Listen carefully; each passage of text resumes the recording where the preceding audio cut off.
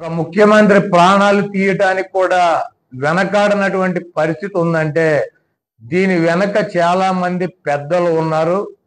వాళ్ళు ఇచ్చినటువంటి ధైర్యం కావచ్చు వాళ్ళు ఇచ్చినటువంటి సొమ్ము కావచ్చు.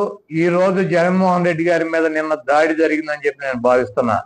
ఎందుకంటే నిన్న మధ్యాహ్నం తుళ్ళూరులో గుంటూరు జిల్లాలో చంద్రబాబు నాయుడు చెప్పాడు నేను చూసా జగన్మోహన్ రెడ్డిని రాళ్ళతో కొట్టమని చెప్పి నిన్న మధ్యాహ్నం చెప్పాడు అతను తుళ్ళూరులో. వీడియోస్ ఉన్నాయి. ఇప్పుడు రోషం వచ్చింది. తిరిగి మనిషికి ఒక రాయి తీసుకొని ఏ దొరికితే తీసుకొని ఆ దున్నపోతని చిత్తు చిత్తుగా ఓడించి ఆ ఫ్యాన్ మాట లేకుండా చేసి మీరు ముందుకు పోవాల్సిందిగా కోరుకుంటున్నా.